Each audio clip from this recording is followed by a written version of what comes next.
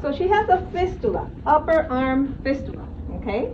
Mm-hmm. This here, this connection here, this right here, that is the anastomosis. Mm-hmm. Okay, so for those of you that had been asking, how does the anastomosis look?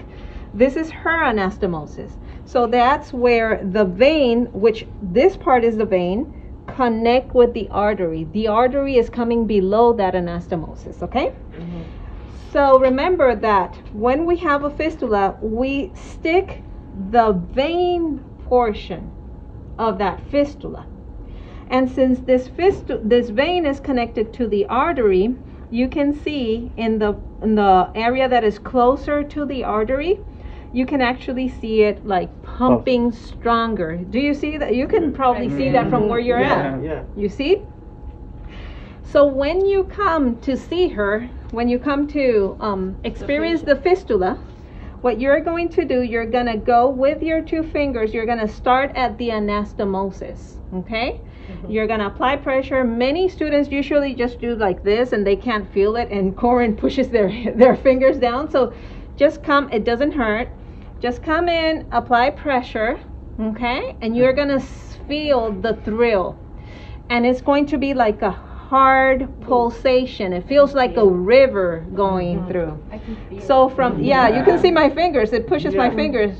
Okay? So from there, you're going to do this and you're going to go up. As you move up, you can feel that it starts fading away. Okay? So we need that because we need the strongest portion of this to feed the machine because the machine has a pump.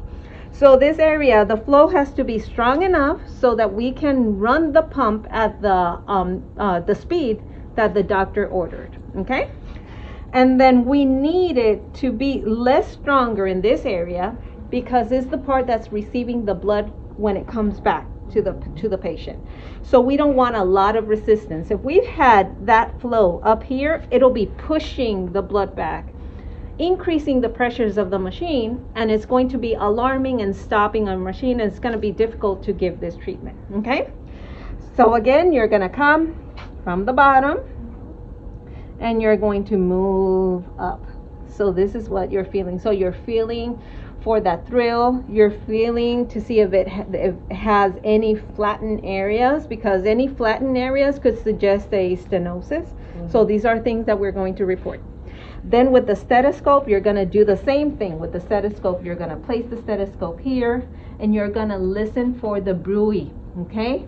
And then you're to listen. It, it again, it has like a, that a river sound, a flow in there. So you're going to move up with that stethoscope and as you move up, it fades away.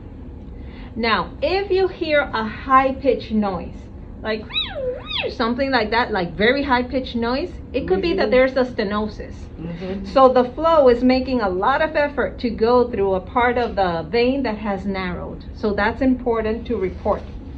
Now, this section here that she mentioned, this section here, this is where they transposed the vein okay it's called transpose we talked a little bit about in, about it inside of the modules but it's called transposed. And not many patients have a vein that have fistula that has been transposed. So that's why i'm pointing this out because you may not see this in every patient.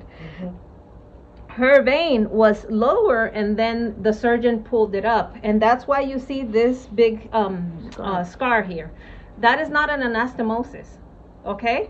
The anastomosis is this part here. Okay so you guys ready? Yay! Okay let's do this. minute, I thought for a minute they just okay.